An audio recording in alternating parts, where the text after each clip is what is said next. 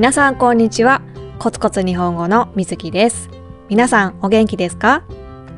最近カフェで仕事をすることにハマっています。平日はレッスンがあるのでカフェに行くことは難しいんですけど、だいたい週末に夫が子供たちの面倒を見てくれて、その間に私はスタバ、スターバックスに行って仕事をしています。すごく集中できるので、カフェでの時間が大好きです。レッスンの準備とか、ポッドキャストや YouTube の内容を考えたりとか、撮影して編集するとか、まあいろんな仕事があります。大変だけど、全部私がやりたいと思ってやっている仕事です。はあ、嫌だなあ、もうやめたいなあって思ったことはありません。それに皆さんが役に立ちます、ありがとうって言ってくれるので、すごくやりがいを感じています。コンテンツ作りにはたくさんたくさん時間をかけて作っていますが、正直に言うと、そこから入ってくるお金はほとんど0円です。でも私も生活のために稼がなくてはいけないので、現実的なことを考えると、このままの状態でコンテンツを続けることはなかなか難しいです。そこでもしよかったら私のコンテンツ、ポッドキャストや YouTube を友達にシェアしてくれませんか？そうすることで私のことをもっと知ってもらえて私をサポートしてくれる人も増えると思うからです。Spotify や Apple Podcast での評価、レビューもしてくれたら本当に嬉しいです。もし気が向いたら Patreon や Buy Me a Coffee でサポートしてくれたら本当に嬉しいです。でもこれはお金がかかることなので強くは言いません。もしサポートしたいと思ったらその時はどうぞよろしくお願いします。この活動を長く続けたいと思っているのでどうかよろしくお願いします。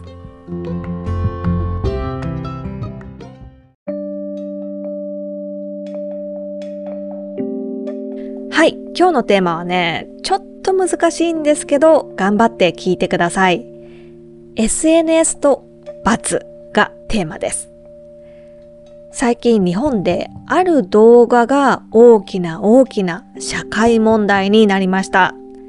それは日本でとっても人気のある回転寿司の店で撮影された動画です。その動画の内容は高校生の男の子が醤油のボトルを舐めたり、レーンに流れている寿司に自分の唾をつけたりしているというものでした。唾は口の中の液、口の中の水分、水のことです。例えばですね、美味しいものが目の前にあると唾がたくさん出てきます。そう、それが唾です。動画の中でこの男の子は自分の唾を他の人が食べる寿司につけたりしていたんです。これね、この動画を撮影した人が SNS にアップしたのか、この迷惑行為をした人がアップしたのか、それはわからないんだけど、とにかくこの動画が SNS にアップされました。そして一気に拡散されました。拡散っていうのは広がるっていう意味です。その拡散された動画では、その男の子の顔はモザイクはかかっていなくて、そのままの顔が映っていました。それですぐにその子の名前とか、通っている高校とか、個人情報も拡散されていました。はい。それからもう一つ。最近もう一つ問題になった動画があります。これもたくさんの人に拡散されていました。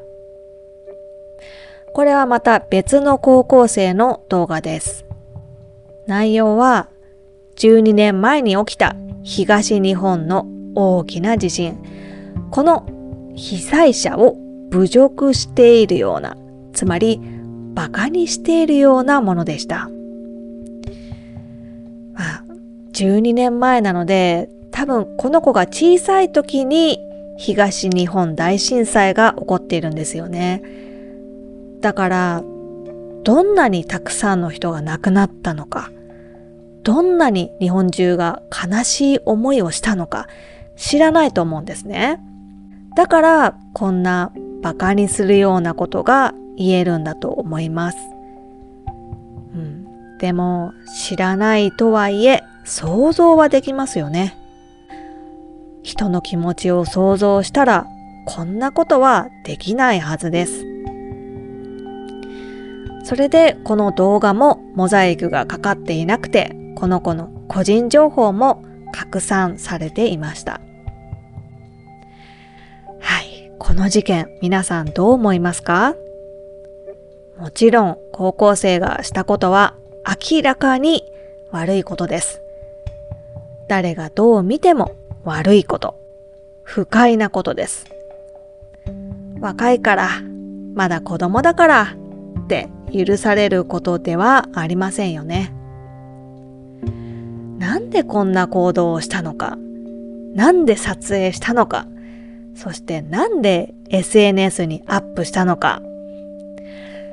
うーん、注目されたかったのかなこんな自分面白いでしょって思っちゃったのかなどういう気持ちでこんな行動をしたのか全然理解できません。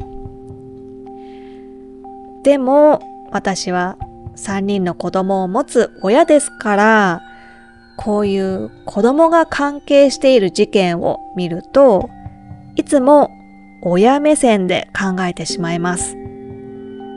親目線っていうのは親の立場、親の視点でという意味です。自分の子供がもしこういう迷惑行為とか不適切な間違った行動をして、それを SNS にアップして、拡散されて、大問題になったらどうしよう。個人情報が公表されたらどうしよう。そんなことを考えました。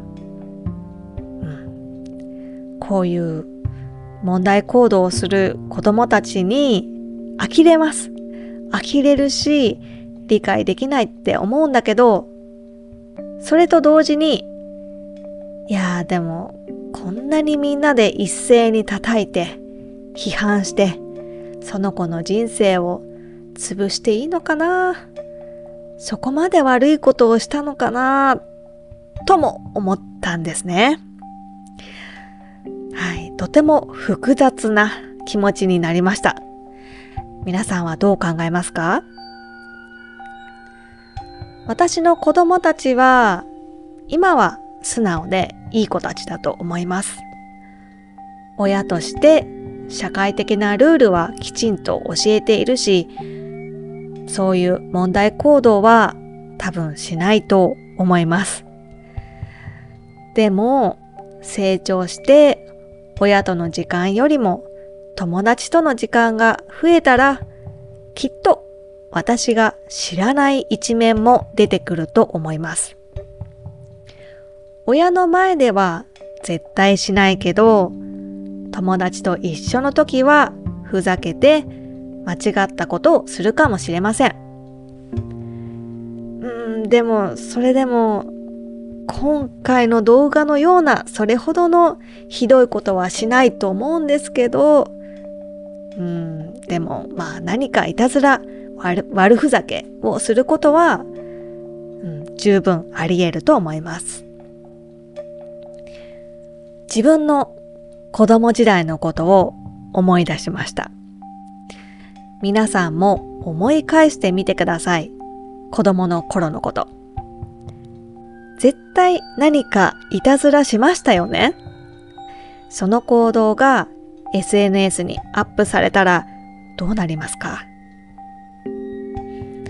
今までの人生を思い返してみたときに、私は今まで誰かに批判されるようなことをしたことがありません。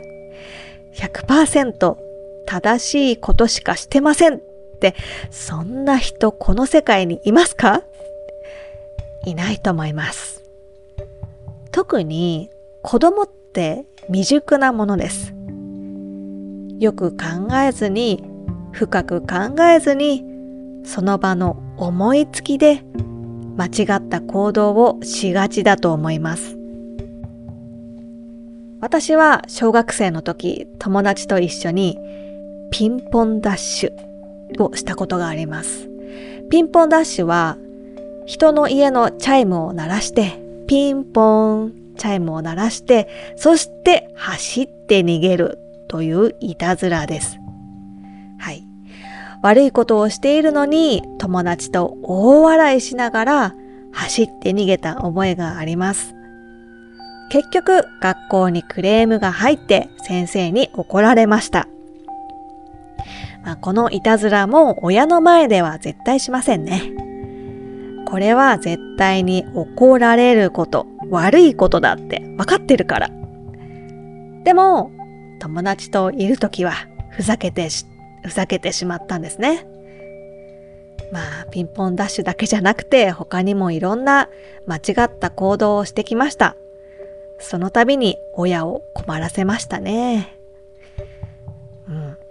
えー、当時はね、SNS なんてなかったですけど、今は子供もスマホを持ってるし、SNS を使ってますよね。それでそういういたずらを何にも考えずに撮影して SNS にアップしてしまうかもしれない。